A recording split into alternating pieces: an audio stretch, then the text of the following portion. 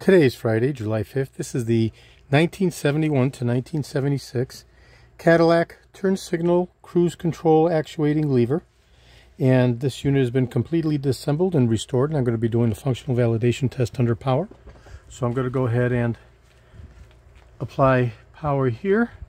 And I'll be testing the engage and then further depressing for the coast and the re-engage, re-engage, coast, engage. Re-engage, coast, engage. Re-engage, coast, engage. And then we'll be testing the other electrical connection for the lock speed and the unlock speed. Okay? So this unit was used from 1971 through 1976. It's specific really to 1973 to 1976 as that it's a bright chrome with the cruise lettering on it. Okay, in the preceding year, 71 to 73, this was satin chrome as opposed to polished chrome. So in 71 to 73, you'll have a polished chrome stem and the taper will be satin chrome and no cruise insignia indicator embossed on the taper whereas uh, after in 73 through 78 uh, they have the polished chrome taper and the cruise embossing lettering on the taper. But the unit is the same functionally from 71 through 78 so uh, can be used interchangeably.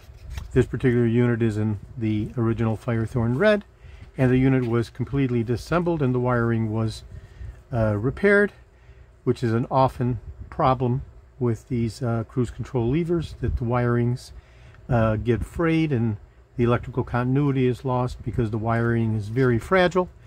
As we can see here, we have a very fragile uh, circuit board like three-prong connector, three very frail wires. They generally will go ahead and uh, snap or become frayed right here where the threading takes place.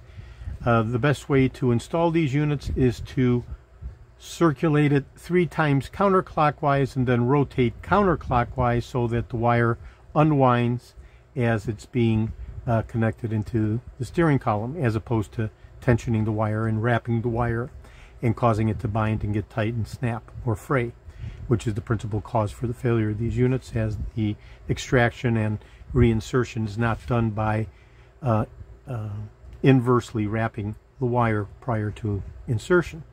So this is George in Florida. Today I have uh, demonstrated the cruise control lever from 1971 through 1978. Uh, these levers were first introduced in 1969. 6970 is a two-year design. Uh, functionally the same with the button and the circuit board, but again, the uh, cosmetics uh, and geometry of the lever are different, whereas that has a double taper in 69 and 70 and starting in 71 we have the single taper, taper as opposed to the double taper and in 73 we have the polished taper as opposed to satin chrome taper. But functionally they're all the same. So this is George in Florida. I have over 375,000 original vintage 1959 through 1976 Cadillac items in my collection. All the way through 78 for the Eldorado. I'm best known for my restoration of the Cadillac steering wheels the tilt and telescopic steering columns, the power seat mechanisms, the instrument clusters, and other critical hard-to-source original vintage Cadillac items. Today is Friday, July 5th. This is George in Florida. Thank you very kindly.